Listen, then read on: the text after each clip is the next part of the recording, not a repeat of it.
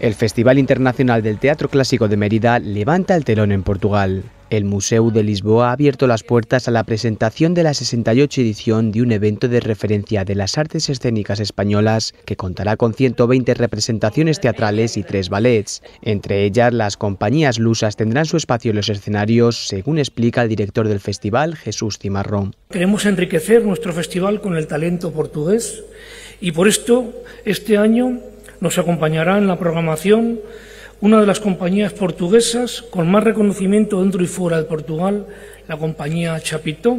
El Teatro María Luisa de la capital extremeña se suma en esta edición a los principales yacimientos arqueológicos que inundarán Mérida de cultura grecolatina, atrayendo a visitantes que buscan experiencias artísticas y culturales. Con este perfil del turista, el presidente de la Junta, Guillermo Fernández Vara, espera cumplir las expectativas del sector. Aspiramos a, tener en estos próximos años eh, unas cifras de, turismo que nos, nos exigen hacer las cosas muy bien, llegar a los 5 millones y medio de pernoctaciones, o a los 2 millones y medio de viajeros, o a los 30.000 trabajadores en el sector del turismo, o al 8% del PIB procedente también del turismo, son mm, metas muy importantes que nos ponemos. La figura de la mujer estará más presente que nunca en el festival más longevo de España, que arrancará el 1 de julio y amenizará las noches de verano hasta el 21 de agosto.